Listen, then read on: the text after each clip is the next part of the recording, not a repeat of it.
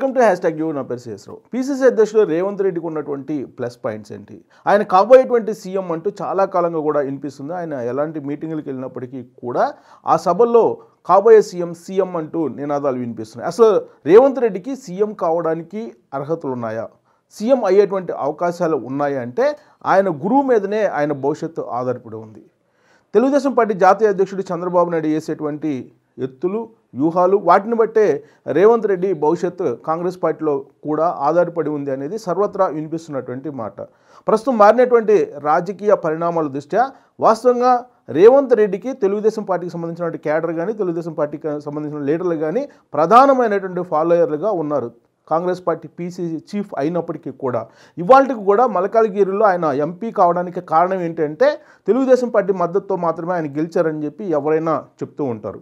అలాగే పీసీసీ అధ్యక్షుడిగా రేవంత్ రెడ్డి ఉన్నప్పటికీ కూడా తెలంగాణ వ్యాప్తంగా ఉన్నటువంటి తెలుగుదేశం పార్టీ పూర్వపు ద్వితీయ శ్రేణి ఇప్పుడు ఆయన్ని అంటిపెట్టుకొని ఉంది ఆయనతోటి నడుస్తూ ఉంది. అయితే మరోవైపు తెలుగుదేశం పార్టీ జాతీయ అధ్యక్షుడు చంద్రబాబు నాయుడు తెలంగాణలో తెలుగుదేశం పార్టీని బలోపేతం చేసేటువంటి ప్రయత్నం చేస్తున్నారు. అందులో భాగంగా కాసాని జ్ఞానేశ్వర్ని తెలుగుదేశం పార్టీ తెలంగాణ విభాగం అధ్యక్షుడిగా నియమించడం జరిగింది. రాబోయేటువంటి రోజుల్లో అన్ని నియోజకవర్గాల్లో కూడా తెలుగుదేశం పార్టీని బలోపేతం చేయడానికి కమిటీలను కూడా వేస్తూ ఉన్నారు. అలాగే ఇతర పార్టీల నుంచి వచ్చేటువంటి లీడర్లను కూడా ఆహ్వానిస్తూ ఉన్నారు. ఎవరైతే తెలుగుదేశం పార్టీని వీడి ఇతర పార్టీలో చేరారో సీనియర్లు వాళ్ళందరినీ ఆహ్వానించడం ఆహ్వానించడంతో పాటు ద్వితీయ శ్రేణి లీడర్లు కూడా ప్రోత్సహించేటువంటి ప్రయత్నం తెలుగుదేశం పార్టీ చేస్తుంది. ఒకవేళ తెలుగుదేశం పార్టీ బలపడితే రేవంత్ రెడ్డి దగ్గర ఉన్నటువంటి అనుచరులు కానీ రేవంత్ రెడ్డి తోటి తెలుగుదేశం పార్టీ నుంచి వెళ్ళినటువంటి వాళ్ళు కానీ వాళ్ళందరూ కూడా మళ్ళీ రీబ్యాక్ అయ్యేటువంటి అవకాశం ఉంది అనేటిది సర్వత్రా వినిపిస్తున్నటువంటి అంశం. అంటే తెలుగుదేశం పార్టీ తెలంగాణలో బలపడితే రేవంత్ రెడ్డికి రాజకీయంగా కొంత నష్టం జరిగేటువంటి అవకాశం ఉంది అనేటువంటి ఒక ఈక్వేషన్ అయితే వినిపిస్తుంది. ఇప్పుడు బలం కానీ బలహీనత కానీ చంద్రబాబు నాయుడు తెలుగుదేశం పార్టీ అనేటువంటి ఒపీనియన్ కాంగ్రెస్ పార్టీలో ఉండేటువంటి సీనియర్లు కూడా వినిపిస్తూ ఉన్నారు.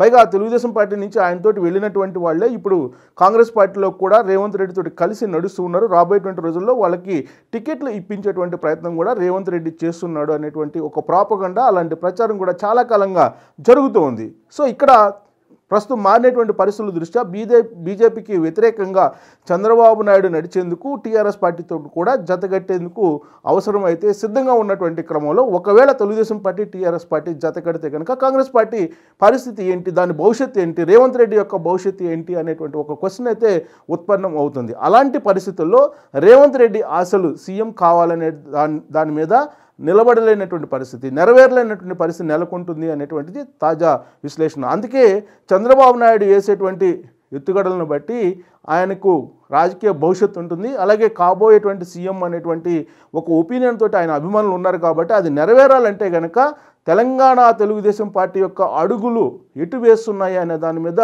ఆయనది ఆయన భవిష్యత్తు ఆధారపడి ఉంది.